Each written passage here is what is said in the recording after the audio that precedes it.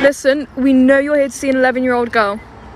She said she was 12. Guess who's back? Jongens, schaaf. L8 with guns get slapped. In the whip with the